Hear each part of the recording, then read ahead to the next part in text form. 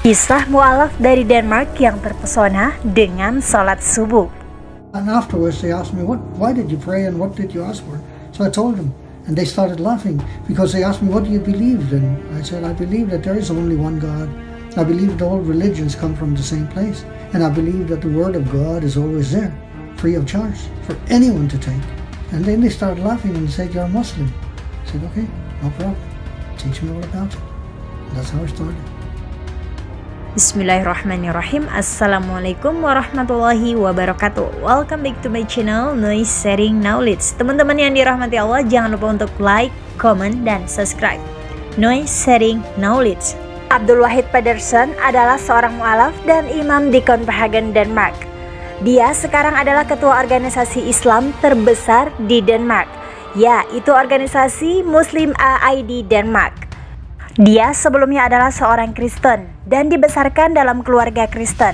Pada usia 16 tahun dia mulai mempertanyakan kekristenannya. Tepatnya, dia mulai meragukan imannya sendiri. Yeah, I was uh, born into a Christian family and raised sort of Christian, not practicing Christian as such, but I was raised to know that I was a Christian. And uh, at the age of 16, I was uh, questioning my own belief, whether I was actually a Christian by belief or by heritage. And that made me leave Christianity and leave all religion in order to search for religion, whether I was a religious person or not, and if I was, then what would be my religion. And I asked all these big questions that I think everybody asks at some point in life. What is after death? What is before life? What uh, what is this? What is that? Is God there? Is God dead? Is God alive? Is God everywhere? Is God dead? Whatever, you know. All of this. Tidak cukup berhenti di situ, ketika dia berusia 21 tahun, Pedersen akhirnya mulai mencari keyakinan yang cocok untuk diikuti. Dia berkeliling dunia dari Afrika hingga Asia Tenggara. Di sana ia menemukan iman itu, pada waktu itu menurutnya cocok untuk diikuti. Lalu dia memeluk agama Hindu. And uh, when I was 21, I started traveling and I was kicking around the world for four years. Uh, started out in Africa, in Europe, and in Africa, and eventually landed in Southeast Asia. And in India, I became Hindu because at that point I had reached the idea that all religions actually come from the same source, and that uh, if I get into any of the existing religions, I could just kind of follow the religion upstream until I got to the source, and that would be the source of all religion and the eternal truth. It wasn't quite as easy as that, I eventually found out, but I went for a lot of pilgrimages to holy places in India, and I tried to sort of live uh, the life of a searching person in India. I, I abolished all my worldly goods. I had no money, I had no return ticket, I had practically no clothes even. I had some homemade clothes and not even a pair of shoes on my feet. I had my passport and I, I had my homemade clothes. Setelah beberapa tahun di India, Pedersen akhirnya kembali ke Denmark dengan agama Hindunya. Pedersen mulai bosan dengan praktik Hindunya. Pemikirannya pun terguncang. Akal pikirannya tidak dapat menerima karena terlalu banyak dewa untuk disembah. Dia kembali ke titik awal dan melakukan pencarian lagi. Eventually I got back to Denmark as a Hindu and I kept uh, doing my Hindu prayers and rituals not very regularly but uh, frequently.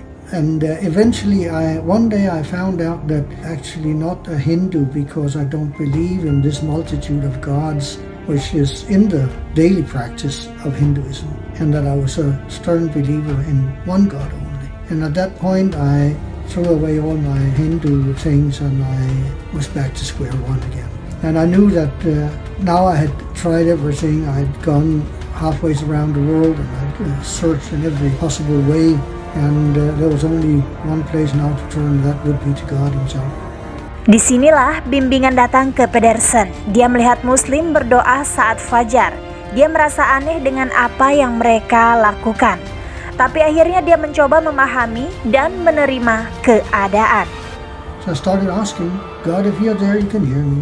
If you're there, you can see me. If you're there, you know my needs. I don't know anything. I'm dumb as a door. I'm, I'm deaf as a rock. I, I don't know what's going on. I don't know what is up and down. I don't know what is the truth.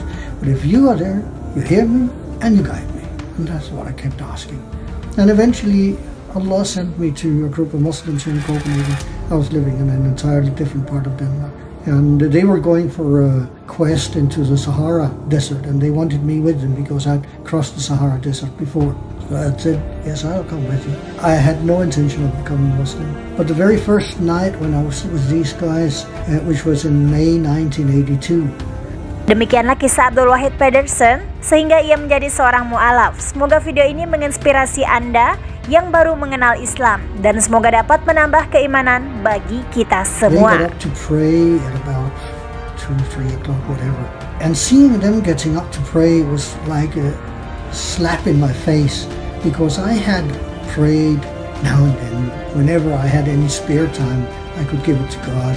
And here these guys got out of their bed to pray extremely early in the morning, which would be in the middle of the night. And I was so ashamed because I thought I have something I want to talk to God about. And I've never really sort of given it high priority. And here are these guys who have some odd religion and they get up to pray like that.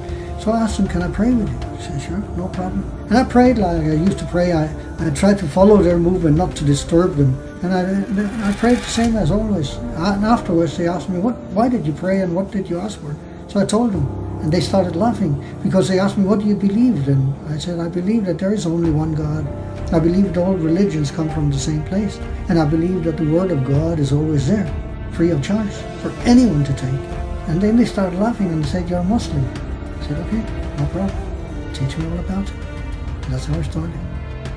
Like postingan ini jika bermanfaat, kalau setuju tulis di komen ya dan jangan lupa subscribe-nya serta share ke teman kamu biar pada tahu. Wallahualam Wassalamualaikum warahmatullahi wabarakatuh.